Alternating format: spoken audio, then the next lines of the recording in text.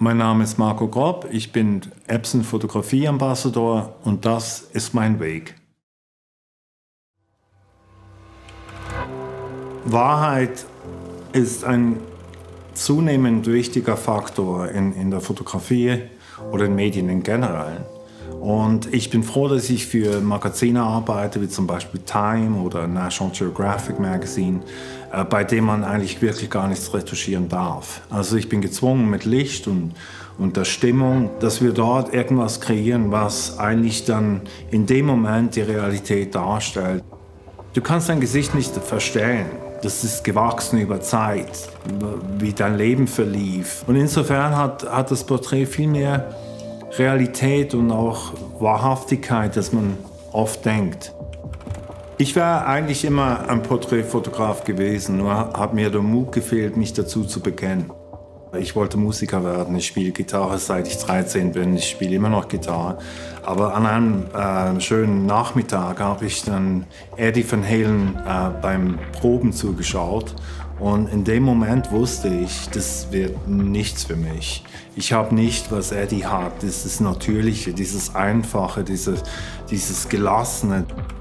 Im gleichen Moment, bei dem ich eigentlich meinen Traum, Gitarrist zu werden, beerdigt habe, wurde mir bewusst, dass ich Zugang habe zu etwas, was mir sonst verborgen bliebe. Und ich habe dann die Kamera mitgenommen und an der gleichen Bühne fing dann eigentlich meine äh, Karriere als Fotograf an.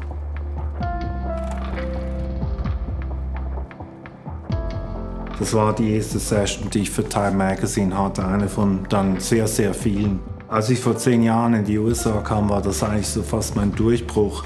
Also insofern ist es sehr, sehr wichtig für meine Karriere und natürlich somit auch für mein Leben. Also ich denke, ich habe meine Arbeit dann gut gemacht, wenn, wenn das Bild wie eine, eine Zwischenbilanz von einer Person zeigt. In ihrem Fall jetzt Ambition und dann sicher auch eine Verletzlichkeit und, und Intelligenz und, und dann aber auch wieder Härte.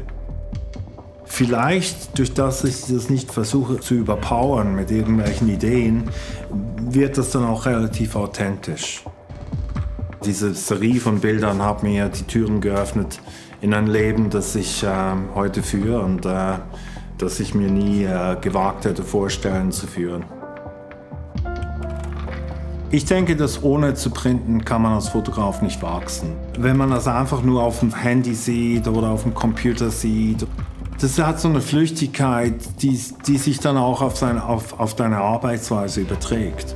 Wenn du das ausprintest und auf ähm, prominent und groß ausprintest, das, das, das fordert dich auf, wirklich genau zu arbeiten. Auf dem Print manifestiert sich eigentlich so die Summe dessen, was du alles gelernt hast. Und es ist einfach wunderschön. Es ist einfach etwas, was auch in der Zukunft, denke ich, ähm, äh, Bestand haben wird. Ich glaube, dass mein Stil in dem Sinn, wenn ich es beschreiben muss, ähm, würde ich es als puristisch bezeichnen. Und habe immer meistens so eine, eine gewisse Intimität. Ja, ich werde nervös, Immer wieder und immer noch. Und ich glaube, dass das auch so eine Art ist, sich aufzuwecken. Das macht dich wach. Ich glaube, das ist auch gut so. Es ist wie beim Schauspieler das Lampenfieber. Ich habe sehr gute Leute um mich. Wirklich die besten, die ich äh, mir wünschen könnte. Und das ist so, wir sind wie eine Band. Und dann gehen wir raus und spielen. Für große Ausstellungsprints haben wir jahrelang jetzt auf dem 11880er gearbeitet und haben ihn jetzt durch einen P20000 ersetzt. Er printet auch viel schneller. In der Regel haben wir nicht mal irgendwelche Beanstandungen. Viele Erstprints hingen dann im Museum. Für mich war Epson auch immer gut, wenn es darum ging, eben bei Papieren ans High-End zu gehen. Die Fiber-Base Epson-Papiere sind toll. Das war das erste digitale Großprint, das ich je gesehen habe, so von meiner Arbeit. Und äh, ich stand am Printer, als es rauskam, und ich war so irgendwie, wow. Ich wusste in dem Moment, jetzt ist was passiert. Und die tiefen Schwärzen und das offene Weiß und der Kontrastumfang, das hat mich fast umgehauen. Ein Motiv wie David Lynch, der ist ja alles da, da, da musst du nur draufhalten. Ja.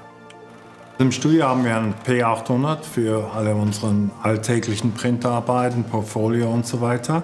Und es ist eben auch gut zum Testen und, und neue Techniken auszuprobieren und dann direkt umzusetzen. Das hier ist zwar jetzt ein Experiment, aber es kann etwas inspirieren, dass man dann wirklich umsetzt, ganz bewusst so. Ich hoffe, dass man in, in all dem in der Abfolge dann mich sieht oder meine Arbeit sieht. Das ist mir schon sehr wichtig. Printen ist für uns und wird es wahrscheinlich immer bleiben, ein, ein Teil unserer normalen Arbeit. Es wird wortwörtlich greifbar. Es gibt mir eine andere, eine andere Wertigkeit meiner eigenen Arbeit zu mir selber. Ich denke mir, dass da eine große Wahrhaftigkeit ist und auch für den Fotografen selber eine große, äh, eine große Möglichkeit, an seiner Arbeit zu wachsen, weil man eben durch das Printen sich bewusst ist und sagt, das ist mir wichtig, das möchte ich in Zukunft eigentlich mehr machen. Wenn es nicht wert ist zu printen, muss ich mich fragen, ist es denn wert überhaupt zu fotografieren?